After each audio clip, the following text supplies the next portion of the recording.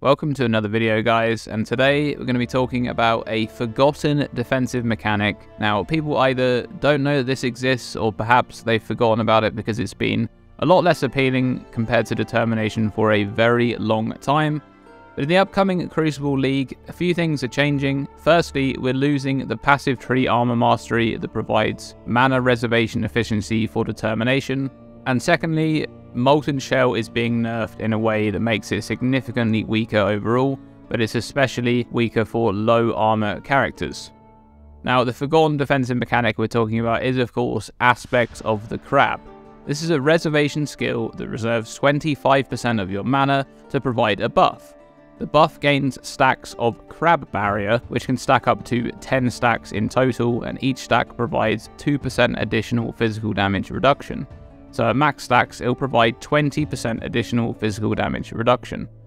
Each stack is gained at a rate of half a second per stack, so it takes 5 seconds in total to gain max stacks. When you take a hit of physical damage, the additional physical damage reduction provided by the crab barrier stacks will help to mitigate some of that damage, and then all crab barriers will be lost.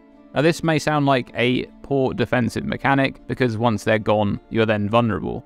However, this is very, very powerful when combined with high amounts of evasion and capped spell suppression as you would expect from a character on that side of the passive skill tree.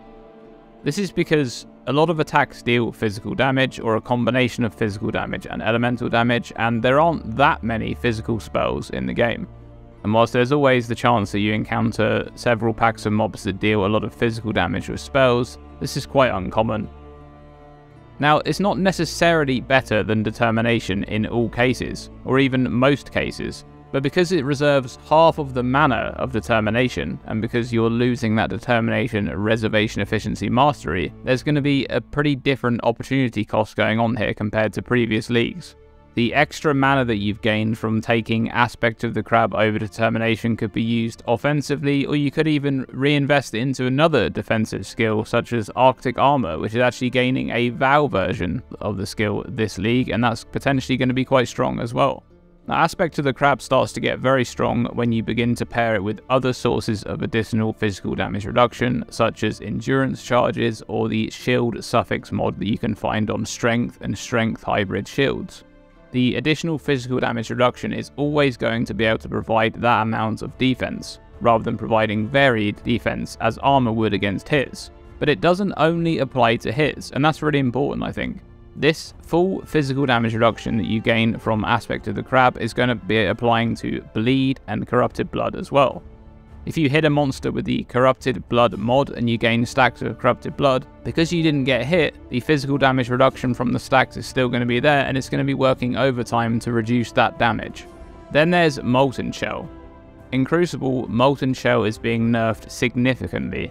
Instead of providing 20% of your armor up to a maximum of 10,000 life, it will now provide 10% of your armor up to a maximum of 5,000.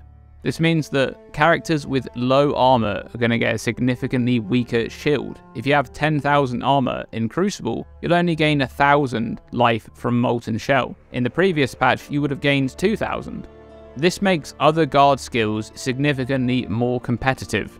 Things like Immortal Call will be a lot more popular, I think, Steel Skin as well, and because Molten Shell is weaker, stacking armor, especially on builds that don't get a lot of increased armor from the tree, for example builds that are on the right side of the tree, is a weaker mechanic for defending against physical damage and it makes other options more appealing, things like Aspect of the Crab for example.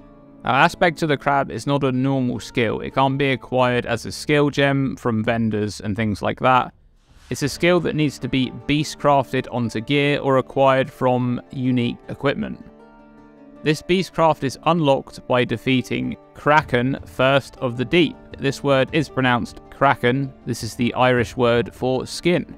But how do you get to Craiceann's Cove to actually defeat the boss to obtain the beastcraft? Well, you need to find a Craicic spider crab, which is a level 74 and higher red beast that can be found during Einhar missions. You can of course also purchase the beasts via trade in any trade league, or you can have another player actually beastcraft onto your item for you. The Craiceann First of the Deep boss also drops some unique items that can't be found elsewhere.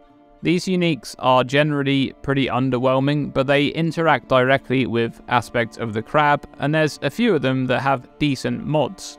The body armor is pretty good, it actually provides the aspect of the crab skill, makes you immune to bleeding, and provides a ton of armor and life. But it's quite a big opportunity cost since it takes up your body armor slot. The boots, on the other hand, are actually pretty good. Craiceann's tracks. They provide a lot of life, some resistance, good movement speed, and they provide two really good buffs that improve aspects of the crab.